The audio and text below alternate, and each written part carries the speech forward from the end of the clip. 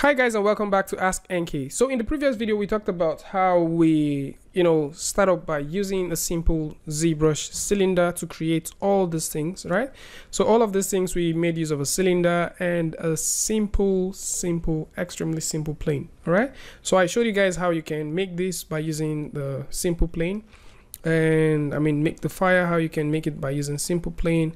And then we also talked about uh, this how you can use Sculptris Pro to play with these things and you know generate very interesting stuff. So the next thing now is to create UVs so uh, for UVs what we are going to do is ZBrush already has a plugin which is known as UV Master. So we're going to use that UV Master and create UVs and the best time or the best way to create UVs is to make sure that your object is at subdivision level zero right? So right now we don't have any levels. It's like the best time to actually do anything you want right? So I'm going to click on this right here and I will choose how I want my UVs to be. You can art direct that by simply painting around this object or you can simply tell uh, ZBrush you know ZBrush go do your thing and ZBrush is going to go do its thing so we can start by, you know, going over to plugin, then go over to this part where we have our Z remesh, uh, the UV master, and then we can fire up the unwrap, all right? But before I do that, I would like to set the maps for this. So I'm going to go over to UV and within this part, I think this might be a little bit too much or is it too small? I don't know. I think I should leave it that way it is. Although we're not going to get so much of a close up, so I think I should leave it at 1. Maybe I should leave it at 2 just in case. Okay, so you can set whatever resolution you want there and simply say UV. Alright, so once you uh, click on the UV, it goes ahead to do the UV and you can hit on Morph UV and you can see what the UV of this object is. It's relatively clean. ZBrush does a really good job when it comes to doing UVs like that. Alright, so I'm going to also unwrap the second one and let's see what it looks like. Okay not so bad not so bad. So I'm just going to turn this back on. And let's select this other one. And also do a simple unwrap and wait for it. And there you go. All right. Okay not so bad as well.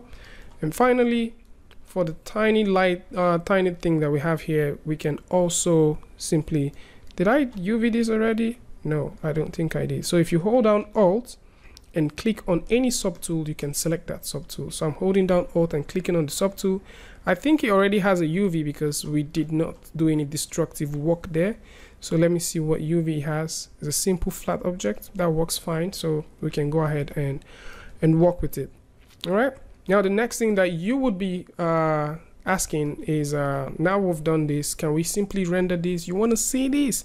All right so how we can do this now or how we can work around this is I would like so much to render this inside here but then I would also like to take this out of here.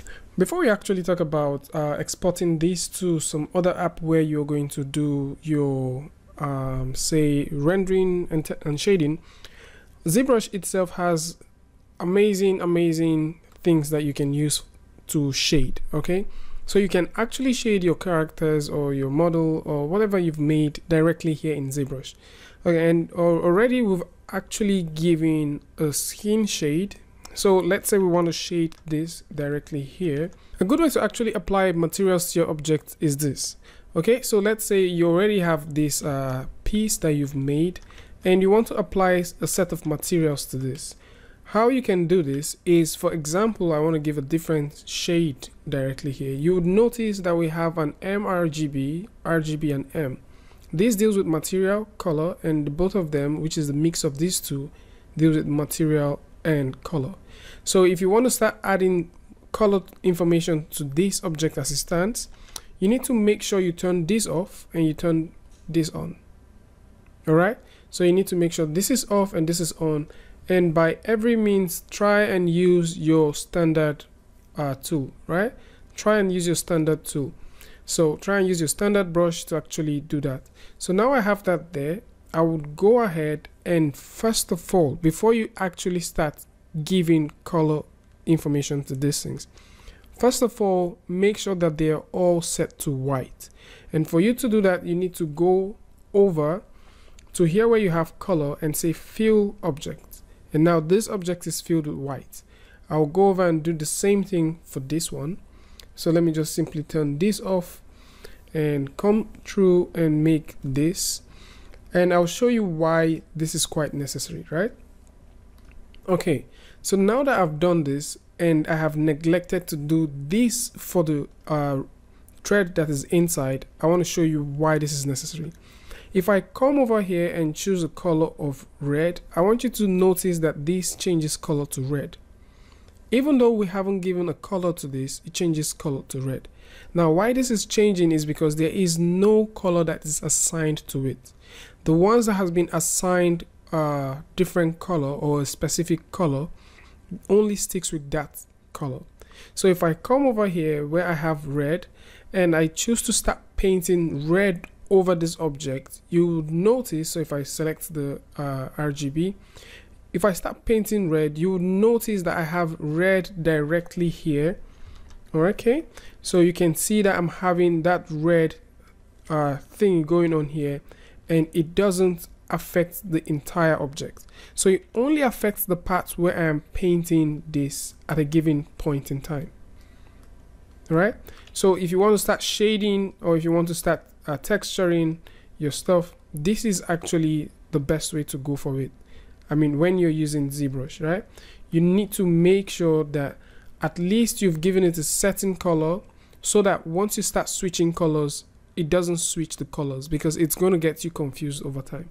So now I want to mix in something else. So I'm going to just simply move over and say I want to mix in this.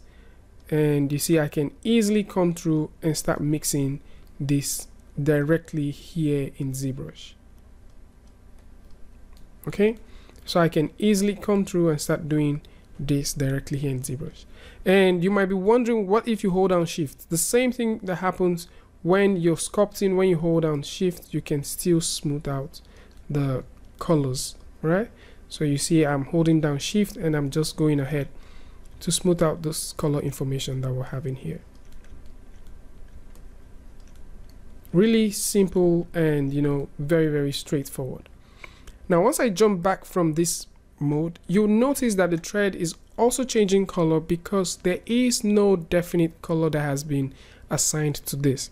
So to actually stop the thread from, you know, going up and down, changing colors, I'm going to go down to where I have a gray area. So within the gray valley, I'm going to select color and just simply hit fill. All right, with RGB turned on, I'm going to go there and hit fill. Now see what happens if I select something like um, the candle, for example, or let's say I select uh, the candle is good. So if I select the candle, for example, and I choose a different color, so I go over and choose green, you see this doesn't change. It doesn't change because it now has a certain color that is being assigned to it. All right. So for the candle, I can select the base of the candle. All right let me turn this off so that we can actually see the base of the candle very well. And I can choose to you know paint in some sort of gray feel to this all right so just slight gray. I just want to turn on symmetry. So if you press X you can get your symmetry turned on. I'm going to just press X to get symmetry turned on and then I will just go ahead and do this so if you're working with ZBrush it is always always important that you as an individual maybe uh, if you can save up to get a tablet that would be amazing. If you can if you have the buck to get a screen display that would be good. But those things are quite expensive guys. So it will be just cool to have a simple tablet that you can make use of. You can go for things that are quite cheap. You don't necessarily need to buy a Wacom tab, right? So you can go for something like the UGEE. These are amazing tablets that you can use. You can also go for things like Huion, the XP Pen, you know, and so on and so forth. The idea is just get something you can sculpt with. It might not necessarily be the most expensive in the market, but as far as it works, I think you should go ahead and get it. So now I'm talking about this I would like to show you guys something that has to do with these both colors or these two colors here. So the colors that you have here can be switched by pressing V on your keyboard. So you can store a color let's say I'm storing this uh, light version of the red and now you see I'm using the gray to actually paint across my object right? At any point in time at any point in time I can choose to press the V key to switch in between them right? And if you want to sample color at any point all you have to do is move your mouse across the surface where you want to sample and press your C key right? So I can press the C key sample a certain color and paint through right? I can sample a certain color and you know paint through by just holding down C on the keyboard all right and so this is about uh, this stuff. All right so I felt it, will, it would be nice if you guys have a because I know maybe not a lot of people that would be watching this video at any point in time would be a pro. So I felt it would be nice for people to actually have an idea how these things uh, work. Right. The next thing which I would do is to go ahead and I guess this is the one with the low poly all right. So the next thing which I would do is to go ahead and you know maybe change the light so a lot of you might not know that you can change the light or the way the position of the light is in your scene. So for you to do that you need to go over to this part where you have light all right? And if you turn this on you turn on a second light. But at this point the light is not on the light is only showing you that it is active and you can position it. All right so if I click it for the second time I now turn on the light. You can see we can now have this light bouncing here. If I go over back to ZBrush uh, I mean directly in ZBrush if I click on the light here and turn this you can see I've turned this light off but it's still active which simply means I can position this light wherever I want in my scene. If I go ahead and click here I can change the color of the light and I can come back here and turn it on. All right just something you guys should know. If you double click on this it takes it back and if you double click it brings it forward. All right actually if you click not double click so if you click it takes the light backwards so you can use it as a backlight you can see I'm getting this uh, nice thing happening there. And if you just simply click you can bring it forward and you can position it wherever you want on your scene. So I would like to just click this take it backwards make it uh, about that point. and instead of having this color I would like to have uh, something in between somewhere like there. Maybe something like this. Something like this would be nice I would like to add one more light all right? And it's also worth noting that these lights are all different. You can see this light has an intensity of 0.3 this light has a different intensity this light has a different intensity and this has a different intensity. It's also worth noting that at every single point where you select these lights that they have the ability to cast their own shadows all right so if I select something like this and go over to light properties, you see it can cast shadow, but then SSS is not turned on, which is for subsurface. All right. If you want to read more about this, you if you hold down the control button, you can see it says the SSS button will enable SSS render capabilities when the button is pressed. All right. So because this is going to be a wax and wax actually deals with subsurface, it will be cool to actually have this on. All right. Now within this shadow, we can play with intensity of the shadow, how we want it to be.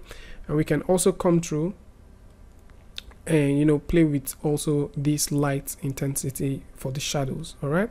So you can go ahead and play with these and see how they work. So i'm selecting this because i actually need a blue uh, tinted light around here. And i would like to take this back a little bit.